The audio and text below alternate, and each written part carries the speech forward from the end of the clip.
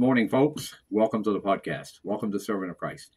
Glory to the Father, and to the Son, and to the Holy Spirit, both now and ever, and under the ages of ages. Amen. So it's been a while since I've been on here. Um, so I wanted to say that this uh, video may end up being a little lengthy uh, this morning. Um, had a little conversation with a, a, dear friend the other day concerning Christmas trees and concerning Christmas uh, being a pagan holiday and, and, these sort of things. Um, person said they felt uncomfortable about putting a tree in their house because that's something that pagans do and did. Well, um, actually, um, the that's not really the reality of it. Um, let's talk about that this morning. Pardon me. Um, now, there is this notion out here, uh, especially among Protestants, that uh, Christmas is uh, a pagan holiday. Therefore, they don't they won't celebrate it and, and so forth. That's predominantly true for the Jehovah's Witnesses, for example, um, which deny that uh, we should be celebrating Christmas because the New Testament does not have it say anywhere that we should um, observe Christmas, which is the birth of our Savior and our Lord Jesus Christ. They object because they say, well, that's not really the day he was born on. That was part one of their objections. Um, and they object to birthdays altogether because John the Baptist's head was cut off on a girl's birthday uh, as a request for her birthday gift. And so, therefore, nobody's allowed to have a birthday or to celebrate Christmas simply because the Bible does not say so. The Bible says, for for example, uh, has Jesus saying to us to re- remember his death, his burial, and his resurrection, but it has nothing. It's silent on should we observe his birth or not. Well, listen, um, let's not get to the point where we strain on a gnat, as is said and swallow a camel. Um, you have to ask the question right off, right from the gate.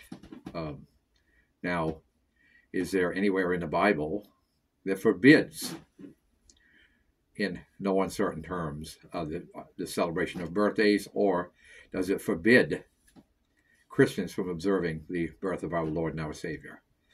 Uh, if you've read the Bible, which I've read the Bible from cover to cover, obviously you're going to come to the conclusion that that is not true, that the Bible does not expressly or specifically forbid the observation of Christmas. So, therefore, if we have no command from the Lord Himself or from one of the apostles that uh, we should not observe Christmas because that is a Christian hol- that is a pagan holiday, then uh, we shouldn't be too concerned if somebody wants to celebrate Christmas.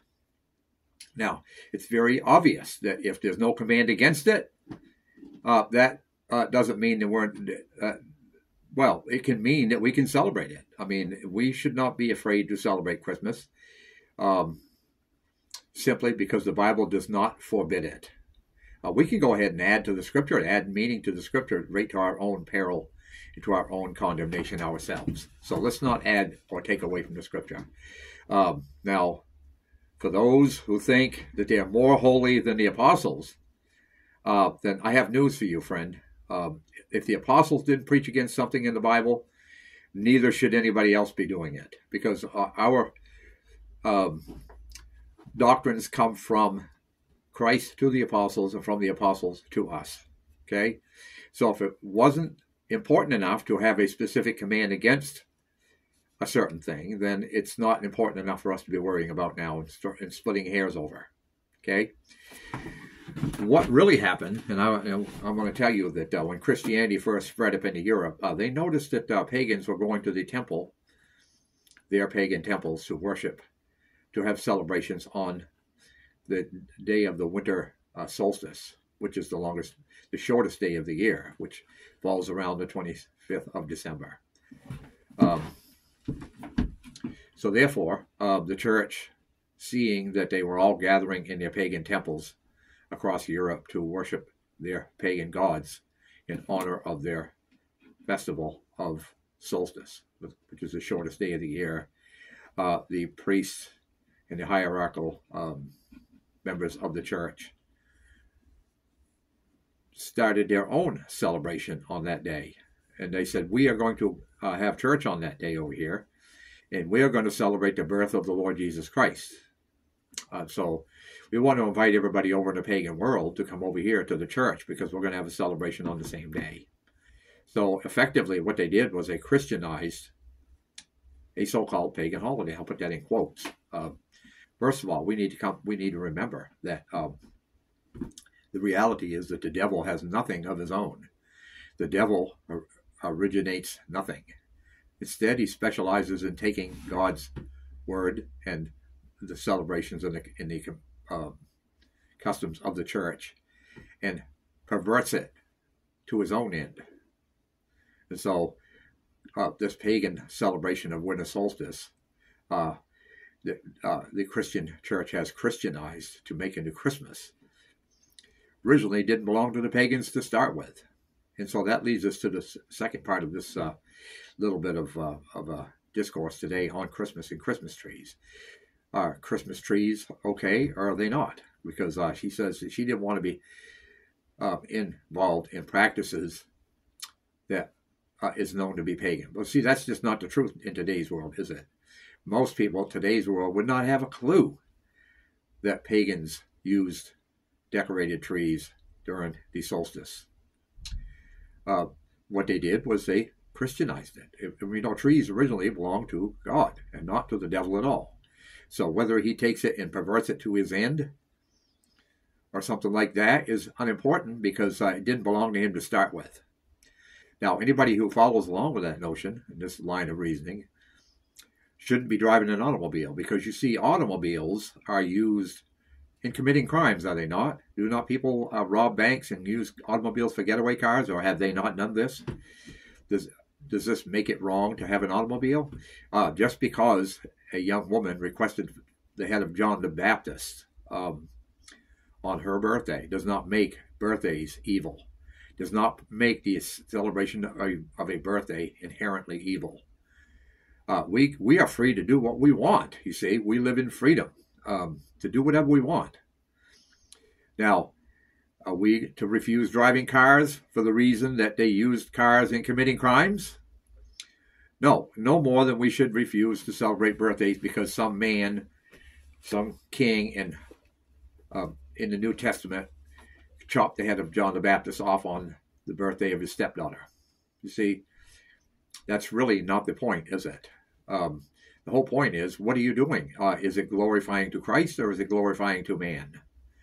So let's talk about trees. Um, first of all, as we know in the book of Genesis, uh, the Lord um, created man and the animals and placed him in a garden called Eden. And he placed in the middle of that garden the tree of life.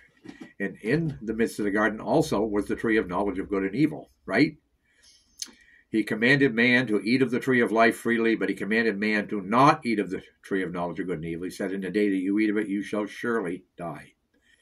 So trees belong to God, do they not? Even the tree of knowledge belongs to God, does it not? Everything here the Lord created himself. And he has a specific purpose for that. So already you can see that there's a problem with uh, pagans taking trees and using them to celebrate their pagan gods.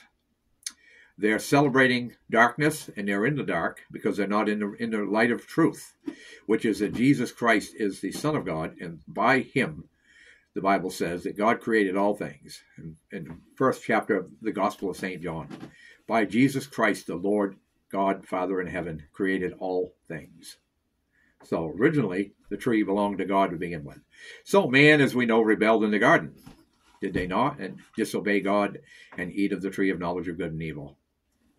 So the Lord expelled them from the garden, and they brought death upon themselves and upon all of creation groans, even till now, of death. So we are guaranteed we're, we're going to die because of what Adam and Eve did. Now, there are Christian groups, especially in the Protestant world, that say that we are guilty of the sins of Adam, call it the original sin. Well, let me tell you something. Well, I'm an Orthodox Christian.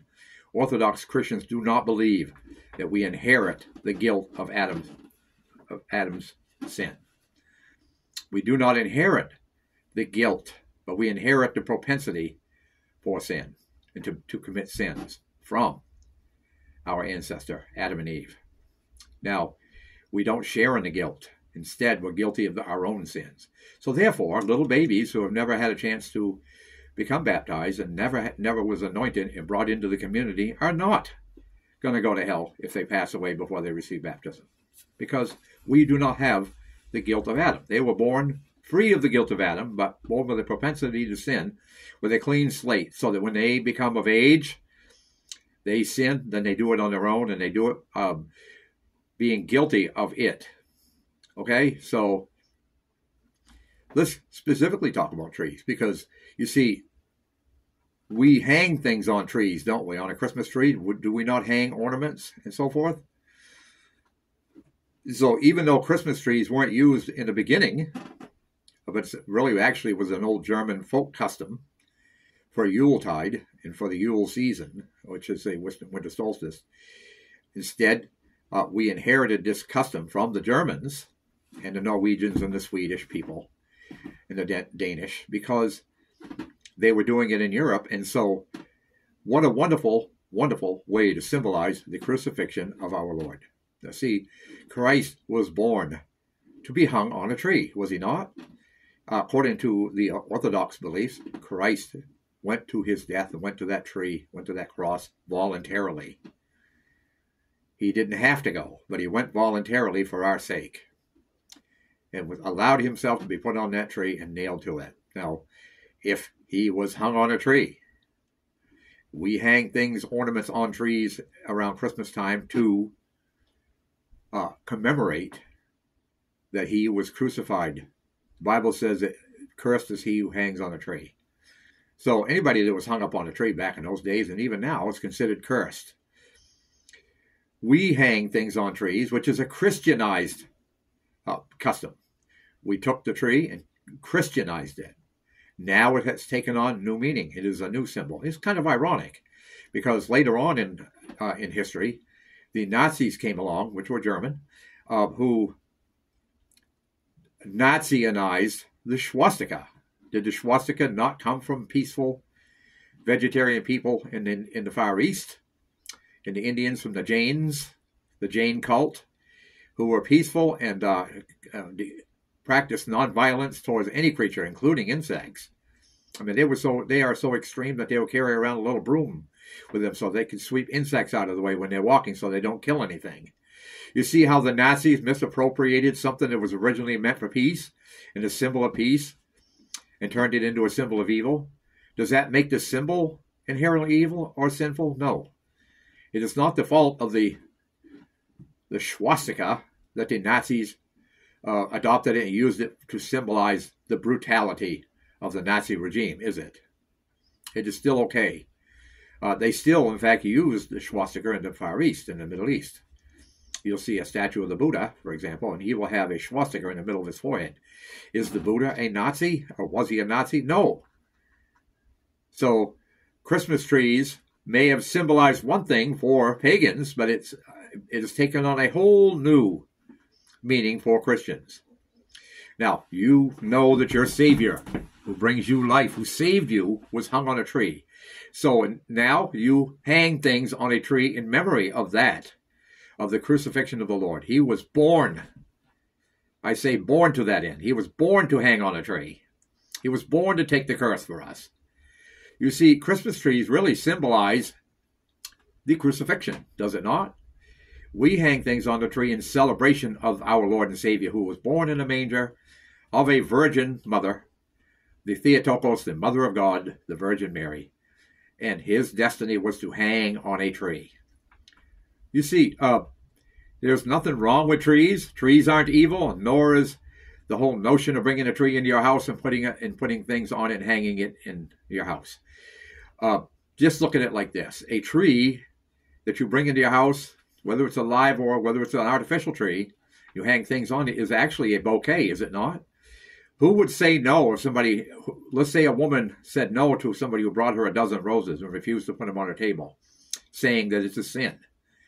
Now, is it a sin to have cut flowers in your house? Is it a sin to put a bouquet in your house? No. Uh, so we can look at a tree now, a Christmas tree now, as a bouquet.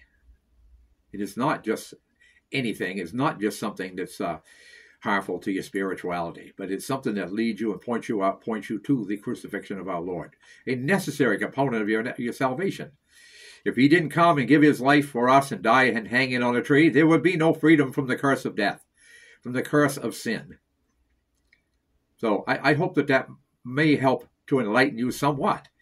Put put up your trees. Uh, in fact, I think that if, if, you put up your trees, that is a wonderful, wonderful um, symbol for the for the crucifixion of our Lord and our Savior. Does the Lord not say to remember his death?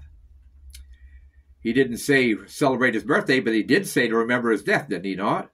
And Christmas trees are a symbol of the death. However, we have adopted it and Christianized it in the modern world. Uh, I believe Martin Luther was the first one to bring trees into the celebration of the birth of our Savior.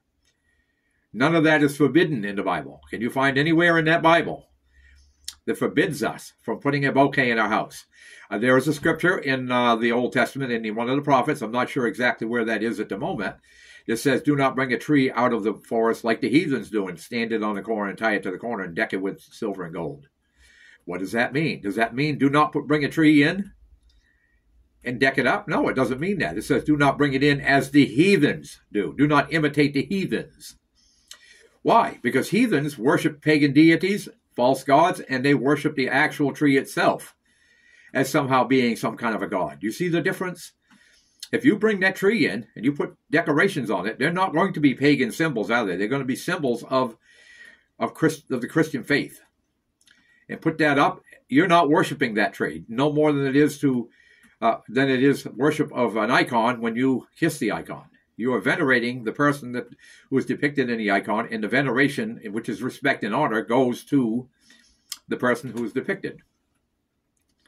See, in the Orthodox Church, uh, we do not believe that anybody dies in the Lord. When you die, in, when your body goes to sleep in Christ, you did not die. You go to be with the Lord. And so these saints that we have depicted in these icons, we kiss the icon, we know that the saint, even though the body sleeps and they have gone back to the dust, they are alive with the Lord.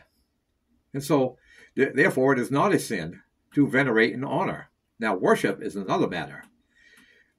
We ask the saints to pray for us. Do we ask the saints to inter- intercede uh, like as if we were talking to God? No. We ask them when they stand before the throne of God to intercede for us and to say prayers for us. As simple as that. So I want to leave you with that this morning. Um, feel free to put up a Christmas tree, okay? Because it is not evil and is not a sin. Glory to the Father, and to the Son, and to the Holy Spirit, both now and ever, and unto the ages of ages. Amen. We hope that you will like the program. Um, I haven't put out a video now for over a month, but we hope that you will like the program and that you will like and subscribe and uh, you'll make comments in the box. Thank you very much. God bless you.